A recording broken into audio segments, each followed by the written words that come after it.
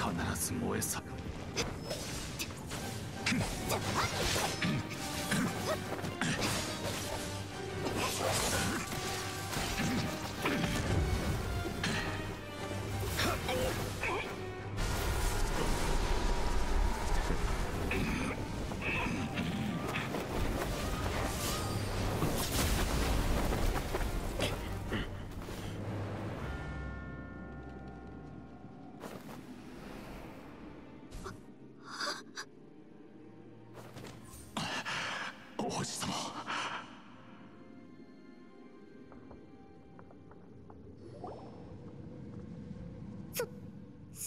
人もしかして。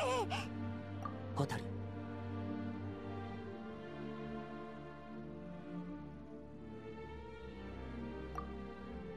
さっきアビスの使徒のために攻撃を防いだぞ。お前のお兄さんアビスとは。ホタルどうしてダインと一緒に？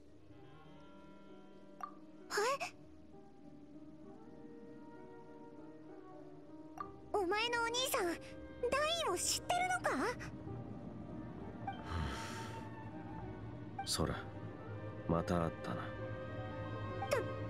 どういうことなんだ？ダインがお兄さんの名前を知ってるぞ！ホタルその人と一緒にいちゃダメだ。その人は俺の敵。そら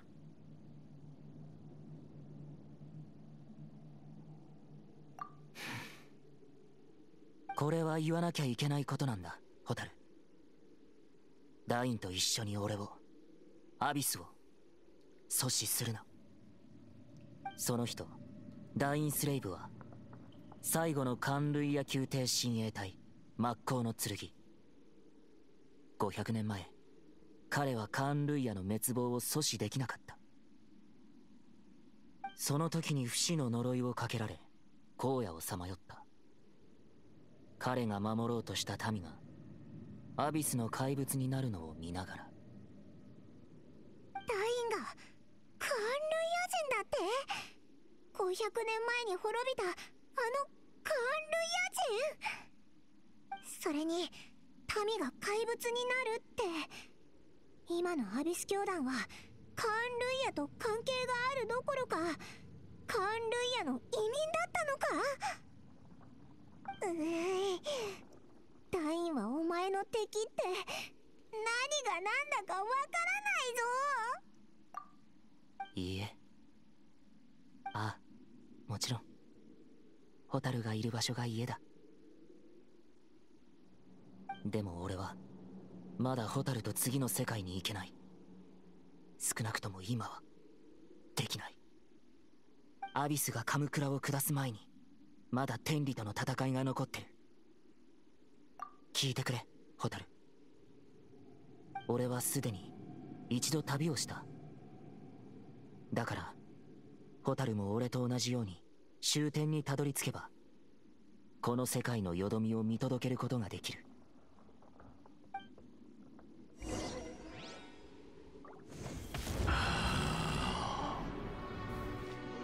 俺たちはいずれ再会する。急ぐことはないんだホタル。待つだけの時間が十分にある。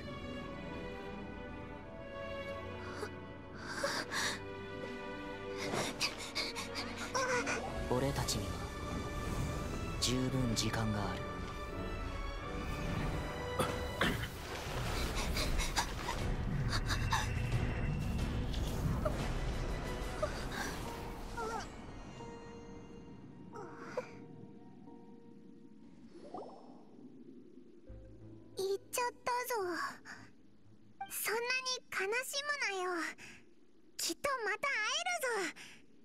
に考えよう少なくとも手がかりは見つかったえ本当か？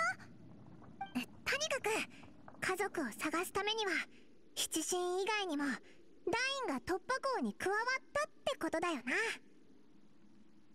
ああでもあいつらが話してたこと難しかったよな。全部理解できたか？そっか。じゃあもう一回整理しようぜ。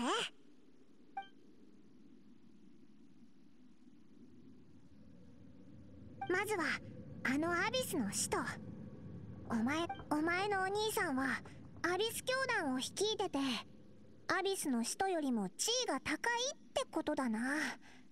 一番高いかどうかはわからないけど。それとお前のお兄さんが鎌倉を下し天理と戦うのが目的だって言ってたけどどういう意味なんだろう。あとアビス教団の怪物はカーン・ルイヤの民が歪んでできた化け物だった。これは恐ろしいことだぞ。ダインはカーン・ルイヤ人で500年前に全てを経験した。